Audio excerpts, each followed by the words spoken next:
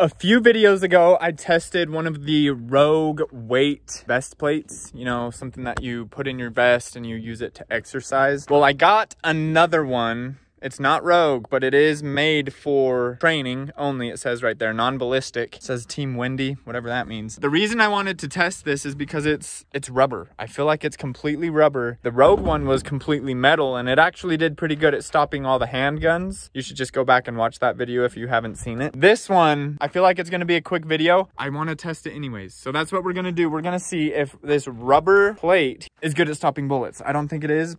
Let's find out. The reason I have to test this is because it says non-ballistic right there on the front. So one, when it says that, you know it has to be tested. If this is just rubber, we're in trouble because even the rubber band ball didn't stop very many bullets. So, I mean, I really have no idea what to expect. I put a water jug behind it so that if the bullets do go through and it hits this, at that point we know that it's just a complete fail. Here we go.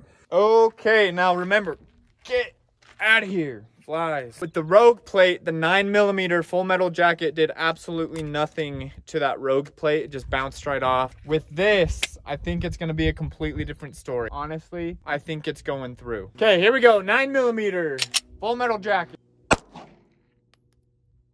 Oh boy.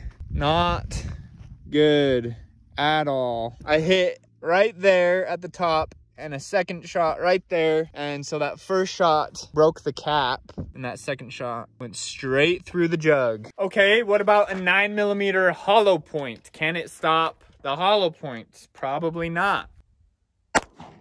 Okay, so I hit right here, right? There's my hit and it went straight through. It ripped out quite a bit more than the full metal jacket because it was spreading out and so it took more of this with it and then a big old hole in the water jug. I mean, I knew it was gonna be garbage, but eh.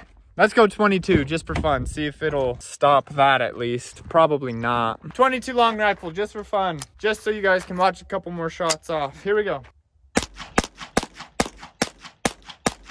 Okay, yep, you see my hits everywhere. And okay, it actually stopped a few. These ones came and poked through, but it looks like it did stop a couple of them because those are not broken through. Well, guys, I knew it was going to be a quick video, honestly. When it said non-ballistic, I really, really believed it with this one because it's just garbage. But I wanted to do it because with the rubber band ball video that I made, a lot of you said that I should make rubber band body armor. Well, I don't think it's going to do very good because this rubber didn't stop much. So thank you so much for watching this video. If you liked it, give it a thumbs up, hit that subscribe button, and I'll see you guys next time.